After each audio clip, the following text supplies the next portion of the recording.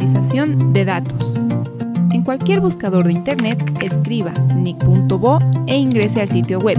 Pulse en la opción Ingresar, escriba su correo electrónico y la contraseña. Escriba el código de la imagen CAPTCHA que se visualice. Para hacer modificaciones de sus datos, debe ir a mi cuenta, elige la opción de actualizar datos. En el formulario puede modificar la razón social, el nombre, apellidos, dirección, teléfono. Para aplicar los cambios, presione el botón Aceptar.